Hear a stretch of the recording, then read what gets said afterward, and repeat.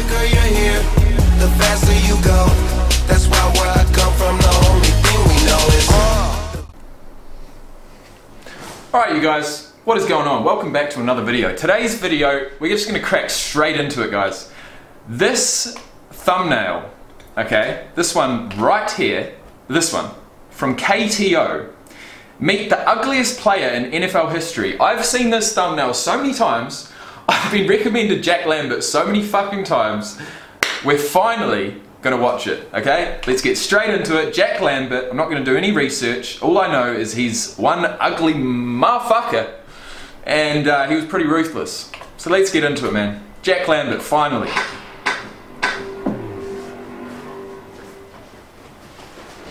If you have seen my previous videos, I have shown you what toughness, scary, and pure intimidation look like.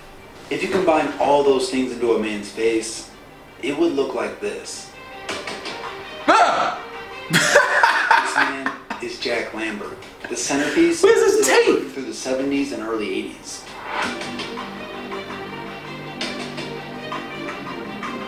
What the fuck? He's got no teeth. I thought that was just his mouth guard, like blacked out, but he's actually got no teeth. Okay.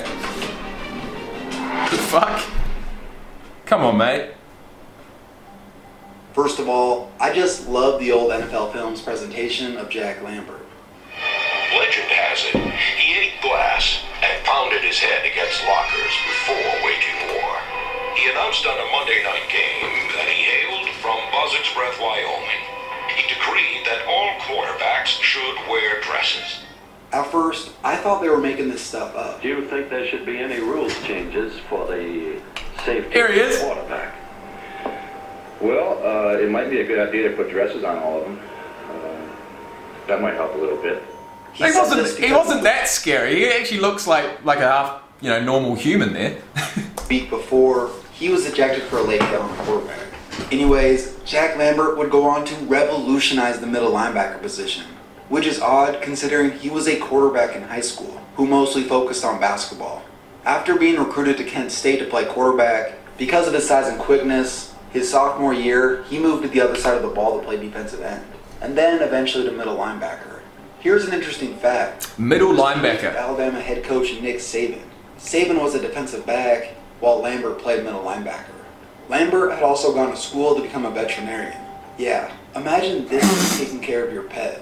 To be fair, the dude was a nice guy off the field. As this article puts it, he's a quiet, extremely private man, a bird watcher and avid fisherman.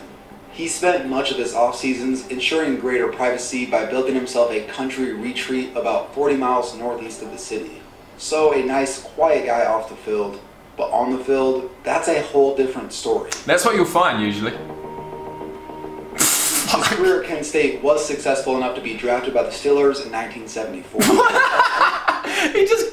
he just kicked him. What the Felt fuck? Scouts had concerns about his size and didn't believe his skill set would translate to the next level. But the Steelers saw potential in him.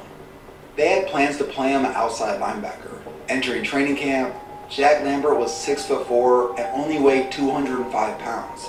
He was so slender, when one of the Steelers administrators saw him for the first time, he told the coaches, oh, there's another wasted pick. Another thing about Jack, he didn't look crazy when he first got to Pittsburgh. He was actually a decent looking guy.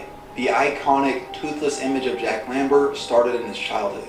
He had four teeth knocked out while playing basketball. The dentist would give him removable dentures. His mom says when he lost his dentures while swimming, he stayed out of school until the dentist made him a replacement. He hated the look that much. He wears his dentures at all times, except when he was on the field. Except when he's on the field. Hmm. Interesting. That's a key factor to the fact that this guy is the ugliest player in NFL history. That, that, that's why. Maybe it's not such a bad thing to get your teeth knocked out. During his rookie year, he was a backup outside linebacker.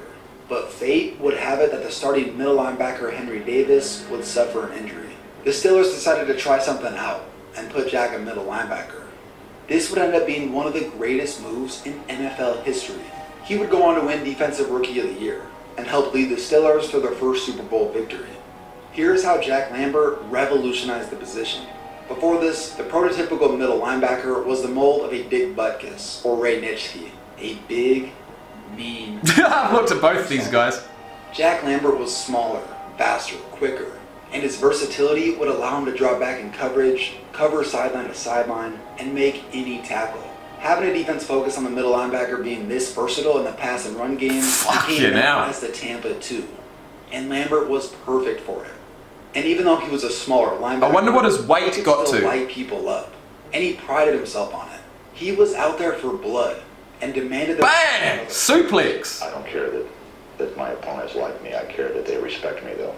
His famous That's the same as Ray Lewis. Ray Lewis said, You don't want to be liked out here, you want to be respected. It's better to be respected than to be liked. That's what he said. look wasn't the reason he was a great linebacker, but it sure adds to the intimidation factor. When he wasn't in the game, he would sit alone on the end of the bench, his breath steaming out from underneath the towel that was draped over his head. Plus, if you played against him, he hated you, and he would let it be known. During the 76 Super Bowl, the Steelers kicker missed a crucial field goal, and one of the Cowboys players, Cliff Harris, thanked him for missing the field goal. And Jack Lambert did not like it. Oh shit! Another shit! time, Bengals running back Archie Griffin has an interesting story about when he was blocking Jack Lambert. And I went at Jack with a great deal of intensity, and I caught him with a great block. Hit him with the best block of my entire professional career. Got did- back to the huddle. Uh, to my surprise, the next play called was an 18. Was a, a, a, the, the same play, toss sweep to the fullback. When I got out there right, I looked down inside to see where Jack was lined up, I wanted to make sure that I would take the same approach to him that I had taken the play before. When I looked down the side, I, I noticed that Jack was staring right back at me. As soon as the ball snapped, I went after Jack with the same intensity that I'd gone after him the play before. This time I got right into his face, ready to explode into another great block. But wham! He hit me with a forearm that you cannot believe. Lifted me up, put me flat on my back, went across the line of scrimmage, and tackled Pete Johnson for a three-yard loss. Well, after the play was over, I was still lying on the ground because Jack hit me so hard he put me in a daze. Jack saw me lying there, and he walked over to me, stood over top of me, looked down at me, and he said, Griffin, if you ever, if you ever try to block me again, I'll bite your head off. Unfortunately for Jack, what he was great at was overshadowed by his image. According to fellow teammates and former coaches, everyone raved about how perfect the dude's technique was. His football IQ Slam! the charts, and being that great, along with a multitude of other great players, is why they won four Super Bowls. He led the team in tackles year in and year out. He averaged 146 per season through his 10th year. In the real world, he's a nice dude, a deputy wildlife officer who coaches a bit of youth sports. A lot of people talk about how nice of a guy he is, but don't get me wrong, you don't want to piss the guy off. So the number Jack wore, number 58, is unofficially retired by the team. This means technically a player can choose number 58. But just some advice, I wouldn't do that. Don't do it! Retired, he reportedly told the equipment manager he was not to issue out his number. And apparently, the equipment manager just ignored Lambert and tried to issue out the number anyway. And when Lambert found this out, he later fought the equipment manager outside of the facility because he tried to give out his number.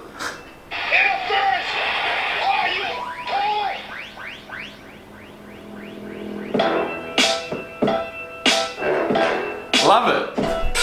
Love it, man. Love it. and actually, I'm going to subscribe to this guy, KTO. Let's see what else he's got. I reckon there's fuck, there's going to be so, so many good videos for me to watch. Seriously. Seriously. There's got to be. The most polarizing ever. Dirtiest player in NFL history. Seahawks ran the most dirtiest player in NFL history. Oh, we got to watch that. That's the next reaction, guys. If you've enjoyed this one, or if you want to support me or the channel, please press like. If you want to subscribe, please do. And I'll see you guys back here to watch the dirtiest player in NFL history with 2.1 million views in only two months. That's gone viral. So I'll see you for that one. Peace, everybody.